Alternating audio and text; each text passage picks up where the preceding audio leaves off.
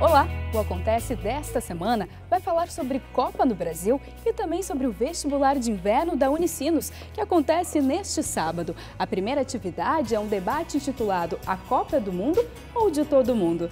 Entre os convidados para esta discussão está o comentarista esportivo Márcio Chagas. A atividade acontece na terça-feira, aqui no auditório Sérgio Concli Gomes, às sete e meia da noite. E como eu comentei antes, sábado é dia de vestibular de inverno na Unicinos.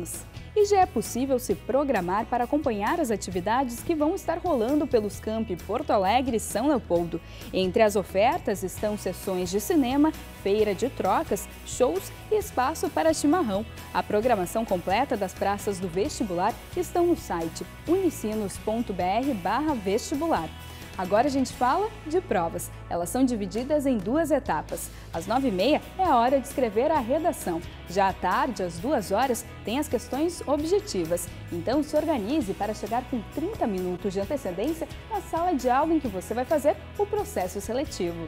O listão com os aprovados será divulgado na terça-feira, dia 3 de junho, no site unicinos.br/vestibular. E fique atento às datas pois os selecionados devem fazer a matrícula do dia 5 ao dia 13 de junho.